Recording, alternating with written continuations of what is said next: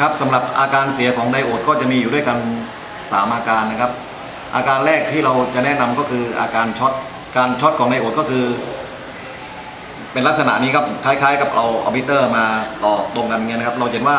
กระแสที่สเกล LI นะครับไหลถึง 15 มิลลิแอมแรงดันตกคร่อมไดโอดก็คือ0โวลต์ความต้านทานก็จะเป็น0โอห์มซึ่งถ้านักศึกษาวัดไดโอดได้ลักษณะนี้ก็แสดงว่าไดโอดตัวนั้น ช็อตวงจรไปแล้วนะครับคือสาร P กับสาร N ก็ต่อถึงกันคือไม่เป็นสารกึ่งตัวนำนะคือเป็นเป็นตัวนำไปแล้วไดโอดตัวนี้ก็กลายเป็นตัวนำไม่เป็นเป็นไม่เป็นสารกึ่งตัวนำนะอาการต่อไปนะครับก็คืออาการขาดอาการขาดก็เปรียบเสมือนเมื่อเรามิเตอร์วัดตรงไดโอดเข็มมิเตอร์ก็อยู่อยู่ในลักษณะดังรูปนี้ครับ ที่เห็นก็คือแรงดันตกคร่อมจะอยู่ที่ประมาณ 3 โวลต์กระแสไม่ไม่ไหลนะครับศูนย์มีแรงความต้านทานก็อยู่ที่ infinity โอห์ม ลักษณะเช่นนี้เราเรียกว่าไดโอดเป็นฉนวนไปแล้วไม่เป็นสารกึ่งตัวนำไม่สามารถนำกระแสได้นะครับ ไม่ว่าเราจะวัดสลับขั้วอย่างไรก็ตาม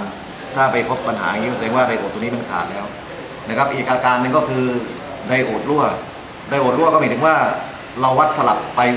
ทั้งสองครั้งบวกลบทั้งไบอัสตรงและไบอัสกลับไดโอดสามารถนำกระแสได้สองทางนะครับ ก็คือเข็มมิเตอร์ขึ้นได้สองสองด้านนั่นเองครับที่กล่าวมาทั้งหมดนี้ก็เป็นการตรวจเช็คไดโอดด้วย มัลติมิเตอร์นะครับสำหรับท่านที่สนใจที่จะเรียนวิชาอิเล็กทรอนิกส์ก็มาได้ที่วิทยาลัยสารพัดช่างธนบุรีครับ